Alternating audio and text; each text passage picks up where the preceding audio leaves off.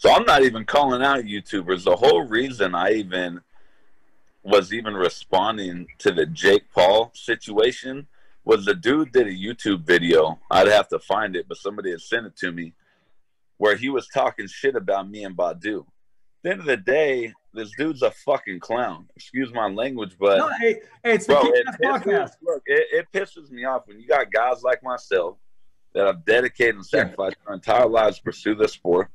Then you get some fucking guys like Jake Paul. Hey man, if you on a business aspect, you're getting in from your side. Hey, come in and make good money, do exhibitions. But for you to come in, you know, and all of a sudden just want to fight professionally, I don't really agree with that, man. I feel like it's a big slap in the face and a discredit to the sport. I feel like it's a big slap in the face and a discredit to the fighters.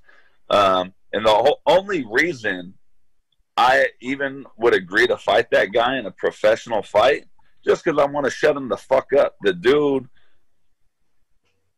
is very immature and he talks a whole lot of shit. And you even got me riled up thinking about the dude right now because I just can't stand him as a person. I don't think he's a, a solid person. And him putting my name in his mouth is the wrong fucking decision. So that's all I got to say. So I made that post, call this dude out. If he thinks he's so good, he's you know he's fighting guys that really have no experience. Come and get in the ring with somebody like myself that got experience, and I promise you, I'm going to give you an L. You know what I mean? He's he's he's glamorizing and bragging about knocking out my dude Nate Robinson. Heart goes out to Nate and his family. Thank God he's okay. But I'll sleep Jake Paul in ways that people ain't never seen. The dude ain't shit. Enough said. You heard it from a beast, man. I mean, when you got the beast in his cage and you rattle that cage, uh, you're going to get the whip, man. So we go, how close is that fight being made? Is it is it just uh, uh, what fight? Word of mouth, uh, Jake uh, Paul. Man, this dude's a sucker, bro. You guys know as well as I do. He got to have a big pair of balls that want to agree to fight me. He's calling out people to just try to get clout off other people's little gravy train, and he he's not ready to fight somebody like myself. You know, he he wants an easy fight. He's fought guys that you know had didn't really have too much experience. You know, so to answer your question, that fight's not really any closer than it was yesterday in my in my mind and being in this game, nothing really means absolutely anything until you have a contract in front of you.